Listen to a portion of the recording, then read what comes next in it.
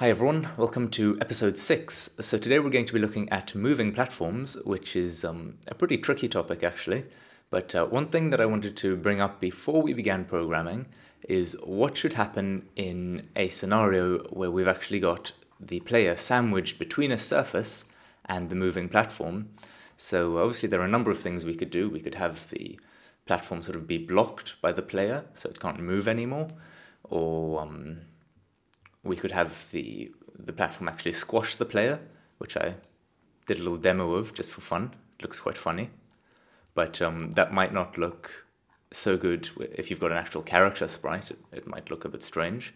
Or of course, you could design your levels so that uh, such a situation never arises, uh, just by you know being more careful about where you place the platforms. Um, but just for the sake of simplicity, uh, in this tutorial, we're just going to make it so that the platform sort of goes through the player and then you can just sort of jump up to get on top of it. So obviously if you're interested in any of the other implementations, you're welcome to sort of try implement it yourself and if you get stuck, just leave a comment and I'll give you some sort of tips. Um, but for now, this is the approach we're going to take. So without any further ado, let's get started. Alright, so to begin with, let's create a new C-sharp script for controlling our platforms, and I'm going to call this the platform controller. Um, now we want our, our moving platforms to be able to do their own collision detection, which means more raycasts. Um, but our controller2d script has got a lot of useful raycast stuff like this raycast origin struct, the calculate ray spacing and update raycast origins method. Uh, that's all stuff that we want for our platformer controller as well. So what we're going to do is we're going to create yet another script, uh, which we can call something like the uh, raycast controller, and then both the controller 2D and the platformer script can extend from that so that they share that sort of common uh, functionality.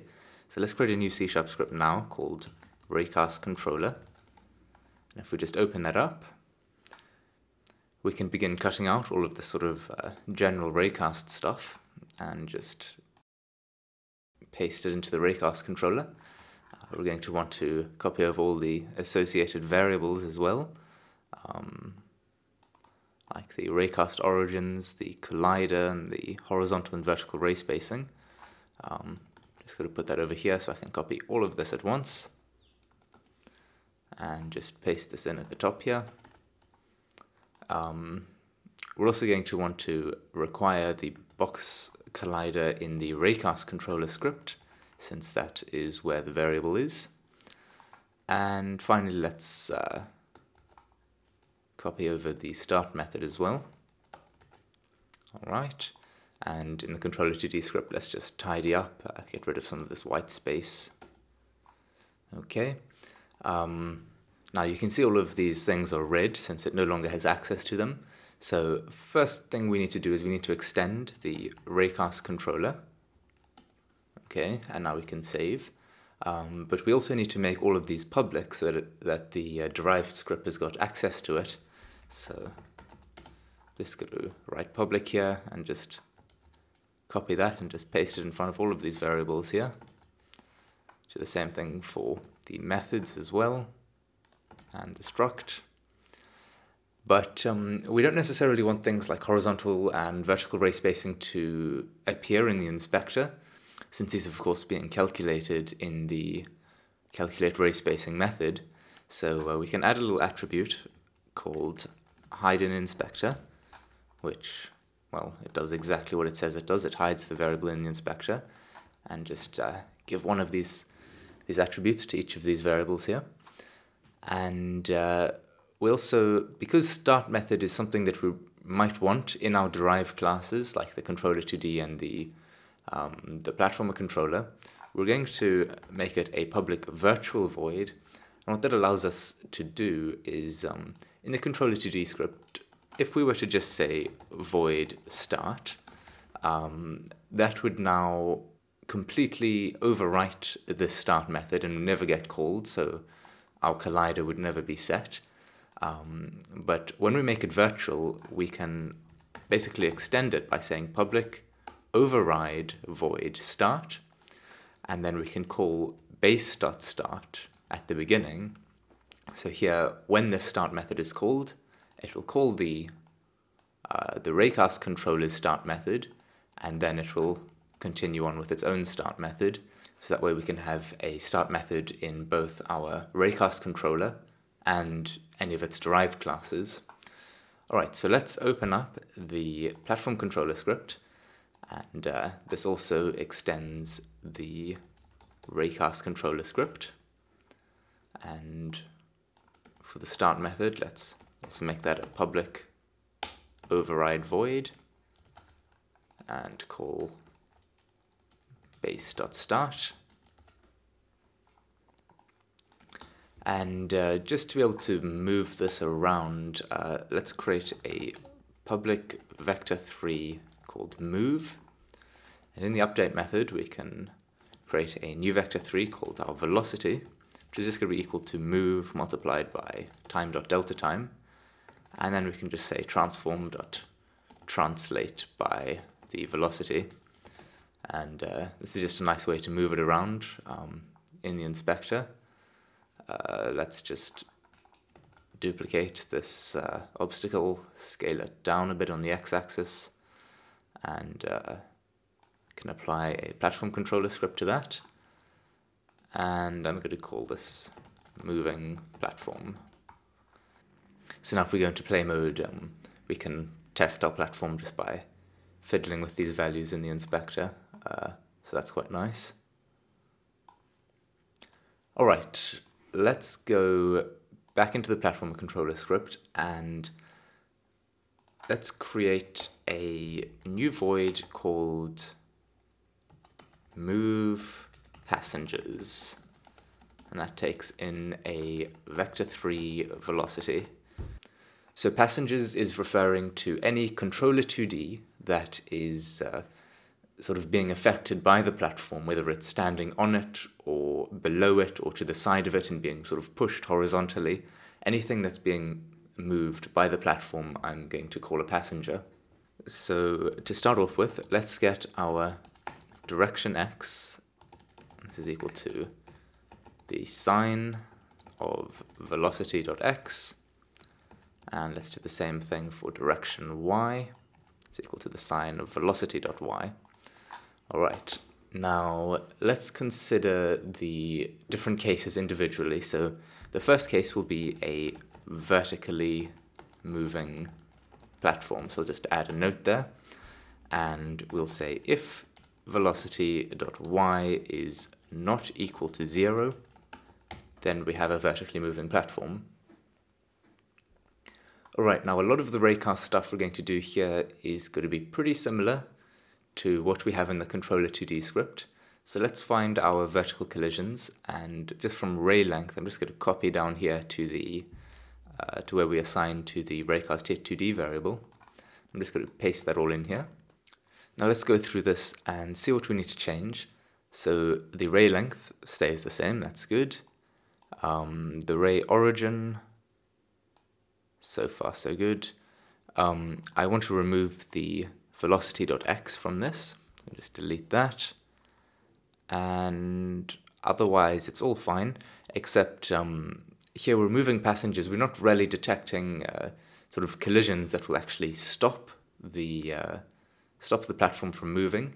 So I'm rather going to create a new layer mask called the passenger mask. And I'll just use that instead for the raycast. Now we can say if hit.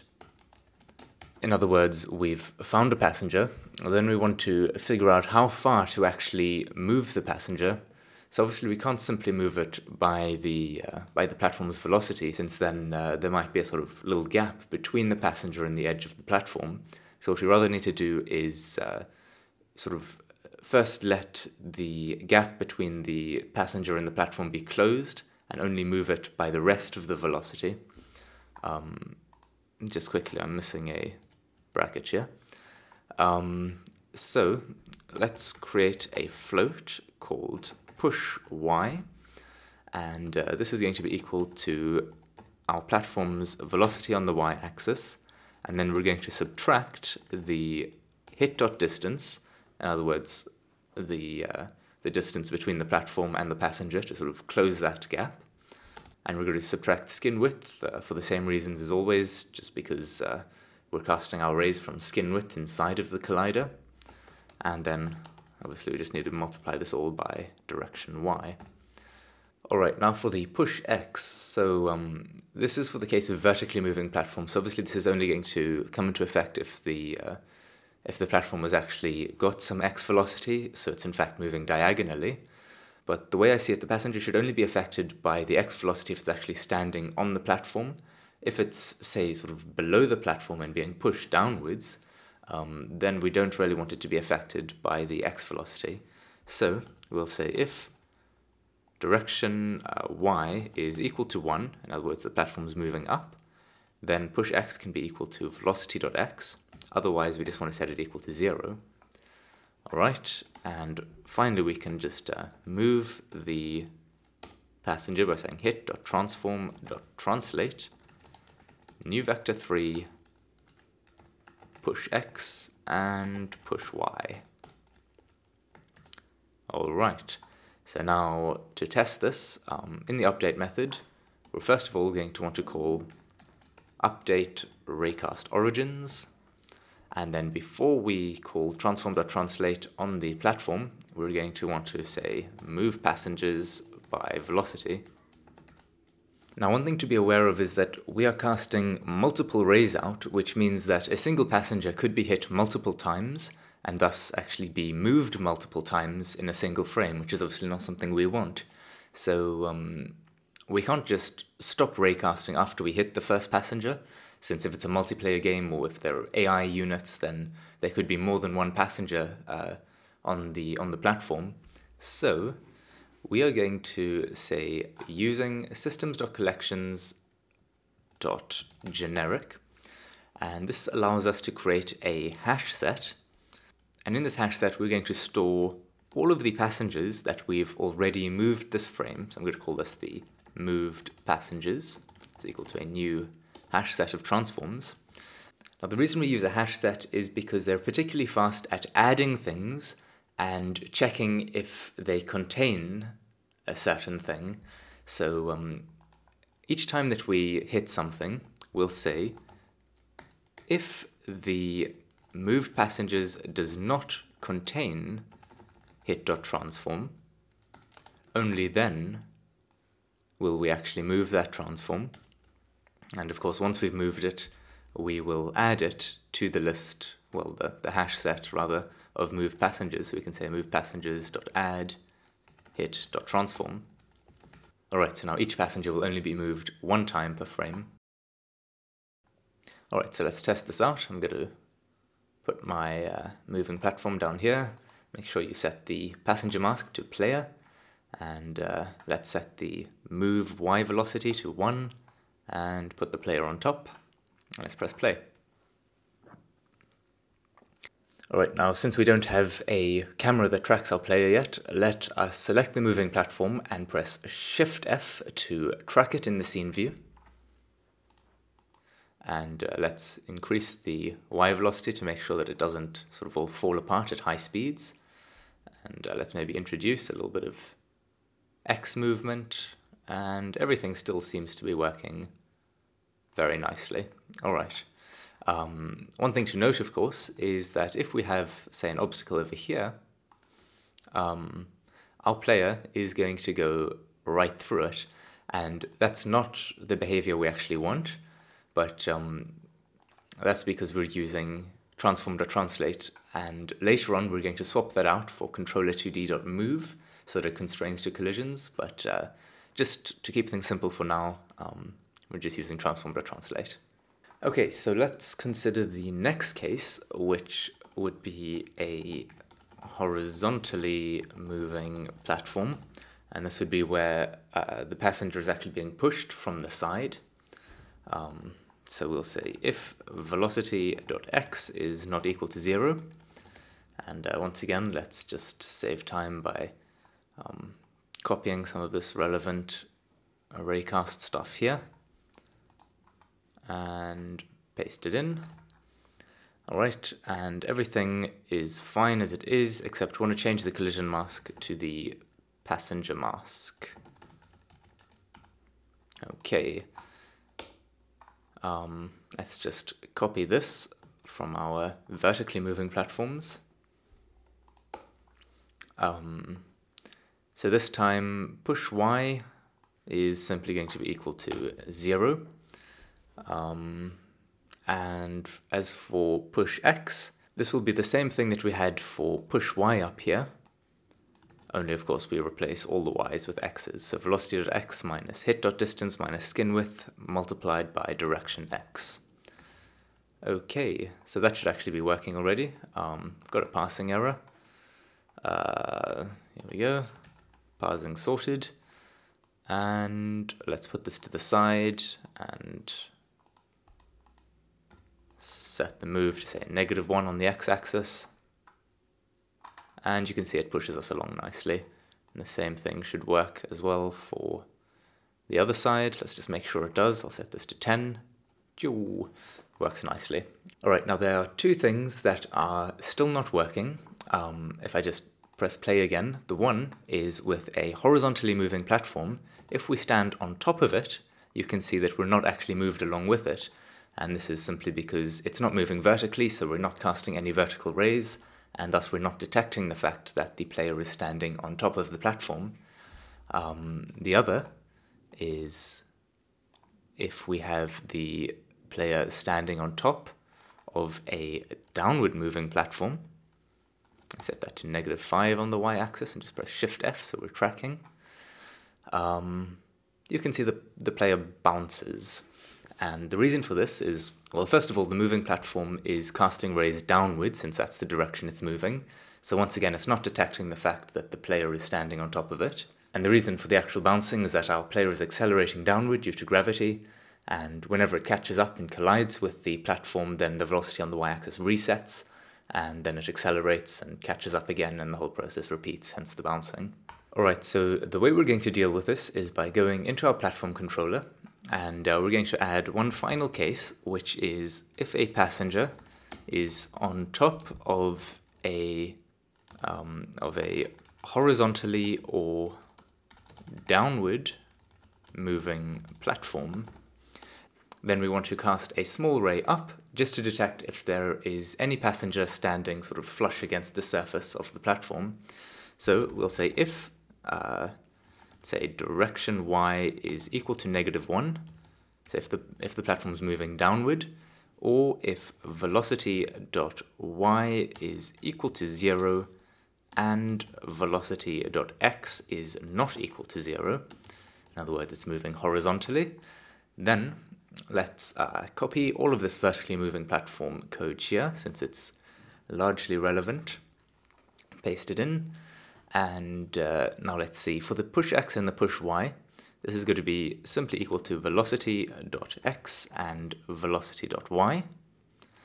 Um, we always want the ray to be cast up, so uh, over here we're going to not multiply vector 2 dot up by direction y, just delete that.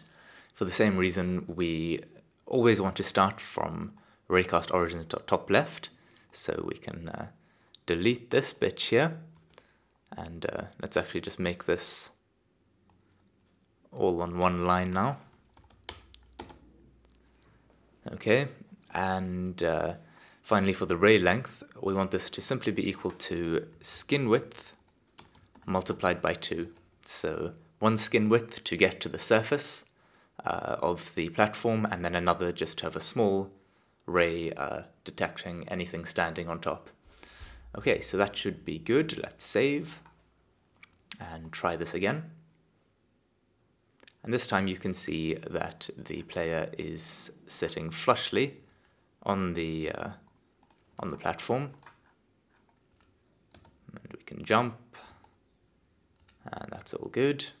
Um, let's test the other case that wasn't working earlier, which is a horizontally moving platform. This time, as you can see, it is working fine.